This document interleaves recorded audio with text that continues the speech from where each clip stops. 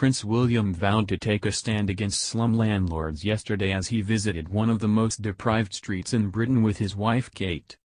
The royal couple were said to have been deeply affected as they were given a tour of mold-ridden houses left in a dangerous state in Blackpool. They were highlighting troubling issues surrounding multiple occupancy homes unfit for habitation that litter the once prosperous resort. William tackled the subject head-on in a speech, saying, Blackpool has always been one of the UK's most loved seaside towns.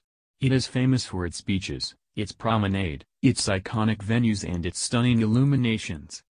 But there obviously is a sadder side to Blackpool that we will see a bit of today, and we shouldn't attempt to skirt around this issue. Dispiritingly, those challenges are felt very strongly today and they are more pressing than ever. Unemployment remains quite high, skilled professionals continue to leave faster than they arrive and Blackpool has become a transitory town for many without the right employment opportunities. Against this backdrop, mental health issues and social problems have risen.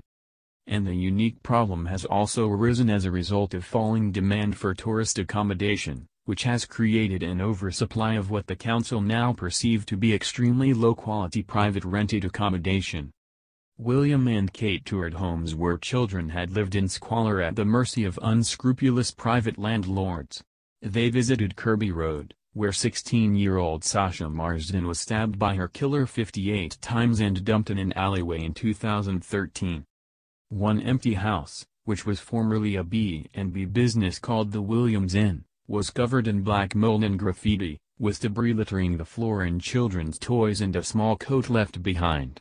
The Duke and Duchess, who was wearing a 940-pound Sportmax coat and high-heeled boots, were asked to walk on planks to avoid dangerous rotting floorboards, while water dripped from the living room ceiling. It was one of many houses bought by private landlords and used for multiple occupancy homes to take advantage of housing benefit. Blackpool Housing Company has since bought them for about £40,000 each and renovated them completely before renting them out as safe family homes. Lee Burrell, BHC Development Director, said the couple were incredibly interested in the project and had expressed their concern that people might move back into housing of such poor standard. They seemed quite shocked, he said. There was an element of surprise that properties could be in that position. Alan Cavill, director of regeneration at Blackpool Council, added, I think they were very concerned to know what could be done. The Duchess was clearly unhappy about the fact that children had been living there, it's not a place she would want to see any child.